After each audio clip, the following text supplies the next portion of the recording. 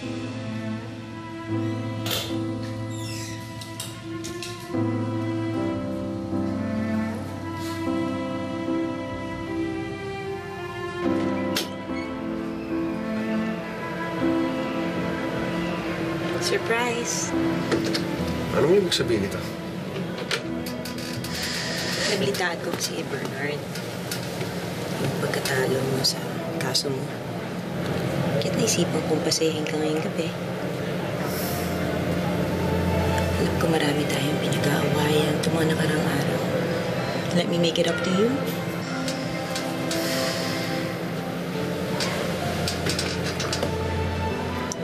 Kaya mong tanggalin ko yung pagod na.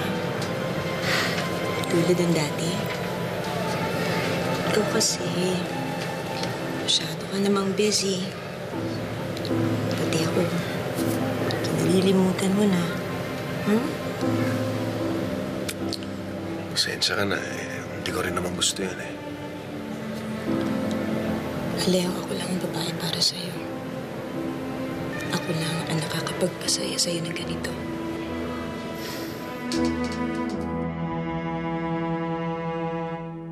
Anak, pasensya na ha. Lalong gumulo ang buhay natin ngayon. Ang buong akala ko kasi, basta tama tayo, mananalo tayo. Pero nagkamali ako. Pero pinapangako ko sa'yo, anak. Hinding-hindi mo mararanasan ang buhay ng katulad ng sananay mo. Lalaki ka ng punong-puno ng pagmamahal. Malaya at walang takot. Kung kailangan buhay ko maging kapalit, ibibigay ko. Masiguro ko lang naligtas ka. Bakit hindi pa rin ako matahimik, Alejo? Kahit ano sabihin mo na wala ka nang tinatago sa akin.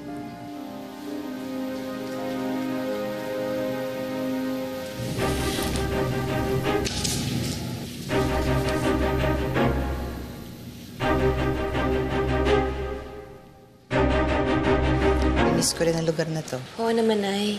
Kahit pa paano naman, naging bahay din natin to. Hindi bale, pag nanalo ako ng loto, mas higit pa dito bibilin ko. Hindi, Nay. Ako dapat ang mag- mga ngako niyan. Pag naging mayaman ako, bibili tayo ng malaking-malaking bahay. Hay nako, si ate at si nanay, nananaginip na naman ang gising.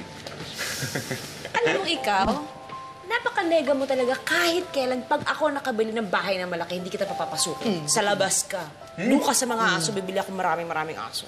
Pwede ba yun? Pwede yun. Hindi ako kasama? Hindi ka talaga kasama. Ay, sandali. Si Emma, pakituktik ko yung blouse ko.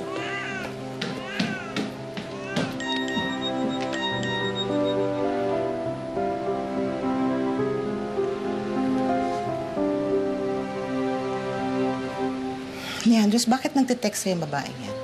Nay naman. Ang dami ng sakit ng ulong binigay sa atin mga Jumedes na yun. Dadagdagan mo pa. Pwede ba? Magsalita ka nga. May namamagi ka na ba sa'yo at sa babae? Wala, Nay. Nangangamusta lang naman yung tao eh. Siyempre, nag-aalala din siya kay ate at kay Emmanuel. Siguraduhin mo, ha? Mabuti pa habang maaga pa, layuan mo na yan. Ayoko na ng gulo. Opo.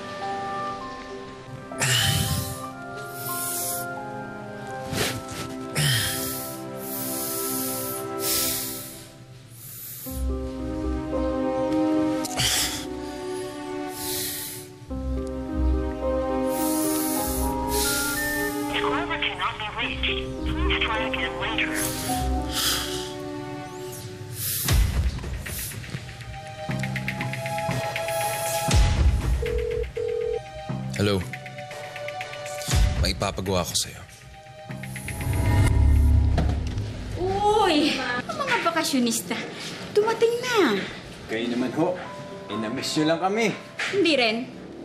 Pasalamat kayo't hindi pinaalis ni ate ang mga kagamitan nyo sa kwarto.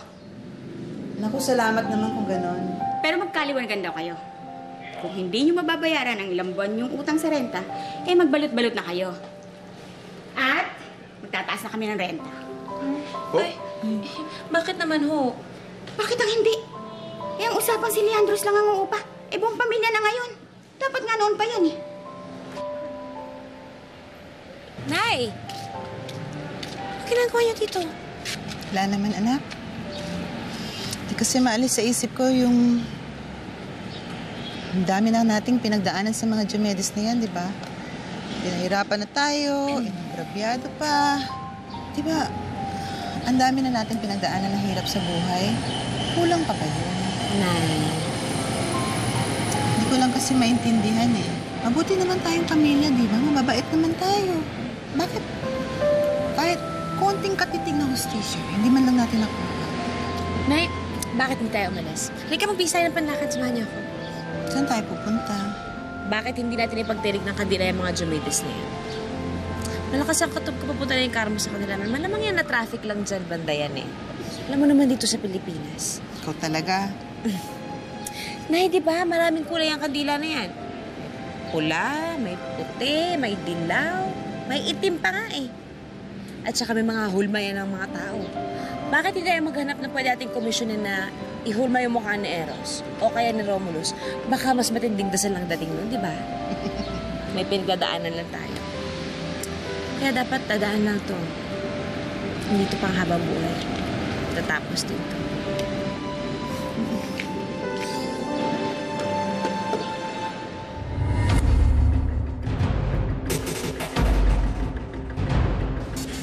Nay, Bakit? pansinin niyo po yung lalaki dyan sa may kanto. Kanina pa yung nakatingin dito, napapansin ko. Hindi papahalata ah. Saan? Ayan, sa may kanto. Huwag masyadong obvious na eh. Ako, Natin eh. ano na naman ang pinaplano ng asawa mo? Nakabalik na sila? May kasama ba sila? Sila lang po. Sige, antayin mo ako. At huwag kang umalis dyan. Pupunta na ako.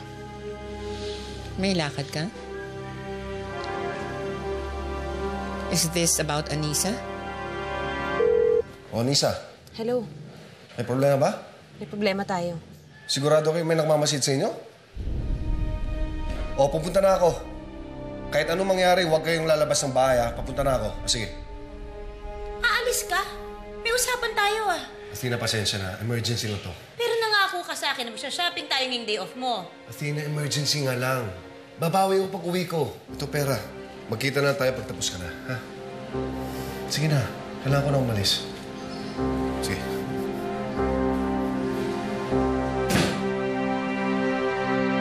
Anak, please, kung may binabalak ka sa mag-ina mo, ipagpaliban mo na muna. Ma, kailangang bumalik sa akin ang pamilya ko. Alam ko. Ako rin naman, gustong gusto ko nang makita ang apo ko. Pero ayaw ni Anisa. Natatakot lang naman ako na makung ano na naman ang mangyari sa'yo. Kaya kung ano man yung iniisip mo, anak, ipagpaliban mo na muna. Kahit pansamantala lang. Ha? I'm sorry, Ma, pero hindi ako makakapaghintay. I want my family back. And no one can stop me. Not even you.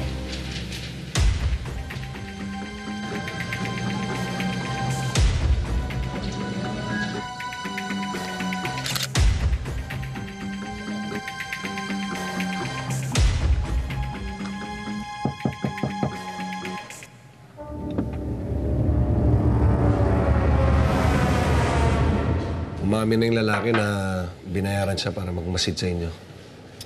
Sigurado ako pakananan naman ng mga Diomedes ito. Yun nga ang problema eh, kasi sabi ng lalaki, hindi niya alam kung sino nag-utos sa kanya. Dahil middleman lang kausap niya. Dito lang siya nagre-report. Si Eros yan. Si Eros ang nasa likod ng mga utak na yan. Pwede, pero hanggat wala tayong sapat na dahilan, Alam ko naman eh. Kaya pwede magdemanda. Paano na ngayon? nakadetain naman yung lalaki sa NBI ho. Pero hanggang 48 hours lamang. At wala na kayong magawa kundi pakawalan siya. Eh kami, paano naman kami? Siguro, Anissa, doble ingat na lang. Magagawa pa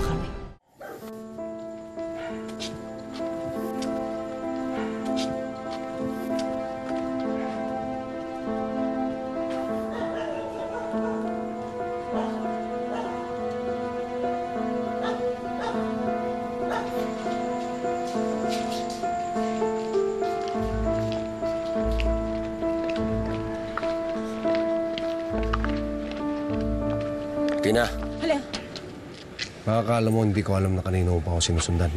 Baka nakalimutan mo, NBI ang asawa mo. gusto ko lang naman malaman kung pupuntahan mo yung babae mo eh. Sus, eto na naman tayo. At Tina, wala akong babae. Na, uwi na tayo. Hindi ako uuwi. Hindi ako uuwi hanggat hindi mo sinasabi sa akin kung may babae ka. Wala akong babae. Ilang beses ko pa sasabihin sa'yo yan. Halika na. Ayaw mo umuwi? Ayoko. Sige, dyan ka na. Alejo! Sabihin mo na kasi sa akin kung may babae ka wala para hindi ako namamatay dito kaisip. Ano ba nangyayari sa'yo? Huwag kang magwala dito, nakakahiya sa kapitbahay. Wala akong babae, wala! Wala kang babae o wala ka pang babae? Mahiya ka naman. Please lang sa bahay na natin pag-usapan. Ayoko. Halika na, please. Halika na, nakakaya na to. Bilib naman ako sa mga Diomedes na yan, no? Lahat gagawin para lang makabuisit. Kinakabahan nga ako na eh. Natatakot ako. Hindi ko alam kung ano pang pwede nilang gawin. Nay, naisip ko. Hindi kaya mas makakabuti kung... Kung maghihiwa-hiwalay na muna tayo? Ano? Narinig mo ba yung sinabi mo? Nay, opo. Alam ko naman po yun eh. Ang sa akin lang po kasi, hindi talaga tayo titigilan ni Eros eh. Hanggat magkakasama tayo. Pero kung maghihiwalay tayo, at least si Leandros pwede siya bumalik sa pag-aaral niya. Pwede niya ipagpatuloy yung trabaho niya. Ewan ko na. Pero mahirap yung sinasabi mo. Nay, pansamantala lang naman eh. Ayoko lang po kayong madamay. Pag naging maayos ng lahat, magsasama-sama tayo uli.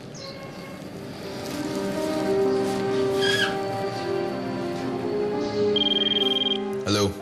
Hello, boss. Problema. Anong problema? Nahuli po yung taong nagmamanman kay Anisa. O, Nay. Ate mo, tinamaan na naman ng pagkatigas ng ulo. Eh, sa inyo yata nagmana yun eh. Gusto ba naman niya magkahiwa-hiwalay tayo? Eh, hindi ba na mapahamak tayo? Basta sama-sama tayo, di ba? Pero kung iisipin nyo nga naman, Nay, may punto si ate. Huwag mo nga masyadong kinukonsinti ang ate mo. Ano maganda sa maghiwalay tayo? Nay, kaya na din na nagsabi na matigas ang ulo ni ate. Pero malambot ang puso nun. Sa tingin niyo ba, kung pwede naman talaga tayo magsama-sama, eh hindi yun ang gugustuhin niya. Nay, katulad niyo, nanay na din siya. May anak siyang inaalagaan. Kaya kung magkakasama tayo, imbis na yung anak na lang niya yung pinoprotektahan niya at inaalagaan niya, eh, pati tayo, cargo pa niya. Hello, Bernard. Pasensya na ha, tatanong ko lang kasama ba si Alejo ngayon? Hindi, Athena. Ah, rest day ko ngayon eh. Ah, ganon. Eh, Kasi off-duty din siya kahapon, kaso biglang nag-text yung Anisa. Si- sino ba yung Anisa? Wala yun. Trabaho lang talaga naming bantayan si Anisa. Siguraduhin niyo lang na trabaho lang yun, ha? Dahil kapag nalaman ko na babae siya ng asawa ko, humanda siya sa akin.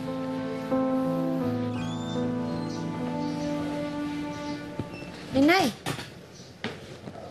Saan po kayo galing? Aga niyo umalas ha.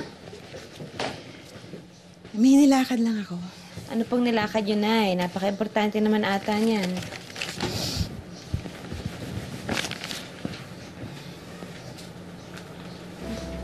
Ano po to? Nay! Ang laking halaga nito ah.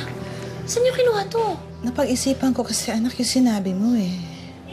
Hmm, hindi man ako sang-ayon pero kung yun lang ang paraan para maging maayos kayo ni Leandros, eh, payag na ako. Isinala ko muna yung yung asinan natin sa probinsya para kahit papano meron kang meron kang perang perang pangsimula para sa para sa bago mong buhay. Maliit na halaga lang yan, pero alam ko naman na magagamit ko yun ng apo ko. Ang dami-dami ko nang atraso sa inyo, Nay. Patong-patong na. Isipin mo, ano, isipin mo. Basta anak, ah, ako ka sa akin ha, pangako. Mag-iingat kayo ng apo ko. Hmm? Mag-iingat kayo. Thank you, you, ma'am, sir. Please come again.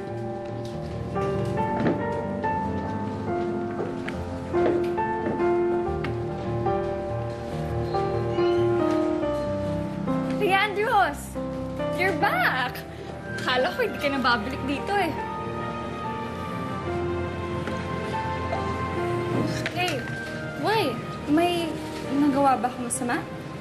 Leandros, halos umabot na ng isang taon yung kaso ng kuya ko at ate mo. But until now, hindi pa rin ako nawawala ng pag-asa na magkakaayos sila. Time heals all wounds, di ba? Ayos, pwede ba? May duty pa ako. Baka mamaya mapagalitan ako dito, masisante pa ako. Ang sungit naman na to. I'm just happy to see you. Kasi hindi mo naman sinasagot yung mga tao pag text ko sa'yo eh. Bakit ko naman sasagutin? Eh, wala naman tayong dapat pag-usapan ah. What? Iris, alam mo sa tingin ko, mas mabuti kung kakalimutan na lang natin yung isa't isa. Bakit naman? Kasi mapapahamak na yung pamilya ko. Sa sobrang daming problema ang binigay niyo sa pamilya ko, siguro hindi naman masama magkanya-kanya tayo, di ba? Sakit mo naman magsalita. Oo, alam ko nasaktan ng kuya ko ang ate mo. Pero that doesn't give you the right na sumbatan ako at tratuhin ako ng ganyan. Dahil wala akong ginagawang masama sa inyo.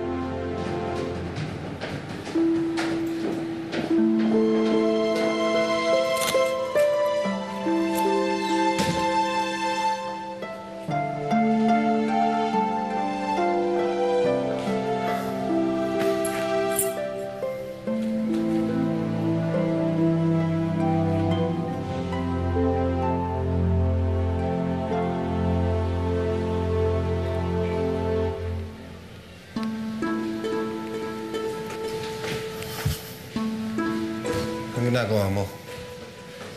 Bakit mo pinapakilam ang telepono ko? Sino tong Anisa na text ng text sa'yo? Kasi na huwag mong pakialaman ang telepono ko.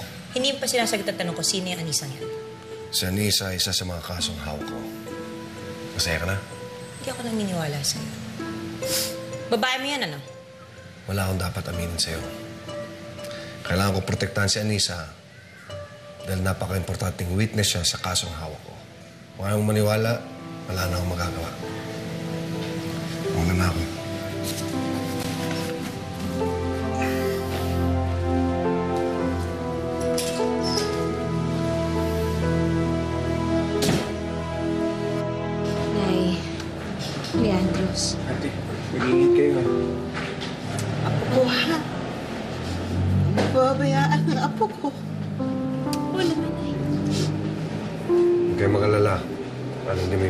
Dimitria, sisiguraduhin ko na nasa maayos na lagay si Anissa. Salamat, Alejo, ha? Ikaw naman ang bahala sa, sa anak ko tsaka sa apo ko, ha?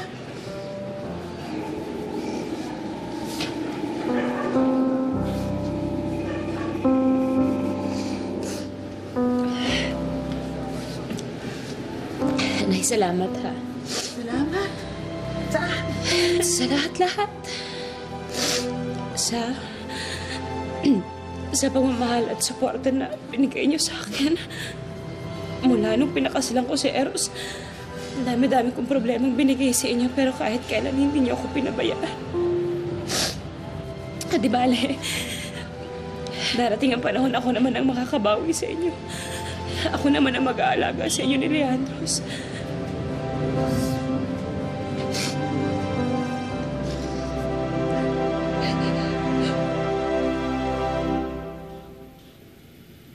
Anisa Panaligan. Eros Diomedes. Bakit ba ganito na lang ang malasakit mo sa kasong to?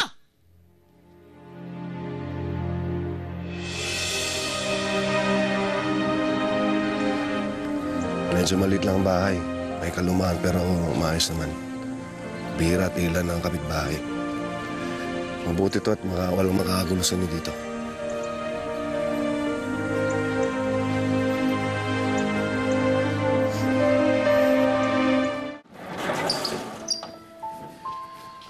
Kailangan ka, malapit lang yung bayan dito. Isang tricycle lang, andyan na yung simbahan, palengke at saka health center. Oo, alam ko. Nakita ko naman kanilang dinaanan natin. ah.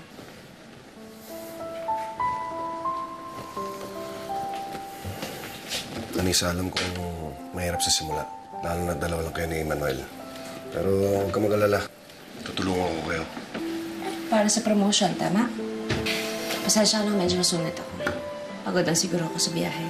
Pero, Alejo, para maliwanag na rin sa ating dalawa, huwag mo na lang palabasin na nagmamalasakit ka sa aming dalawang mag-ina. Alam naman natin pareho kung bakit tayo nandito, hindi ba? Maraming salamat pa rin. Rom, anong gagawin natin? Si Eros, hindi pa rin tumitigil sa paghahanap kay Anisa. Well, can you blame him? Kahit ako naman eh. Hinahanap-hanap ko yung apo natin. Baka lalo na naman siyang mapahamak sa ginagawa niya. At this point, walang makakapigil kay Eros. So paano? Wala na tayong gagawin. Ano ko ba naman, Elena? Sa palagay mo ba kung may magagawa ako, hindi ko gagawin? Kasi iba na yung nakikita ko kay Eros.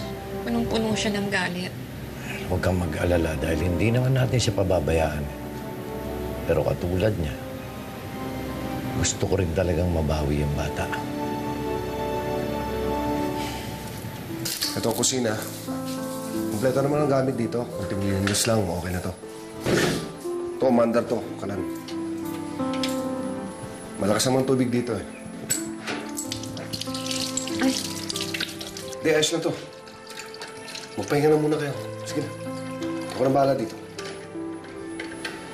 Alejo, um, pasensya ka na ha. Ayoko lang talaga maging pabigat at abala kami sa'yo. Anong problema? Salamat ulit.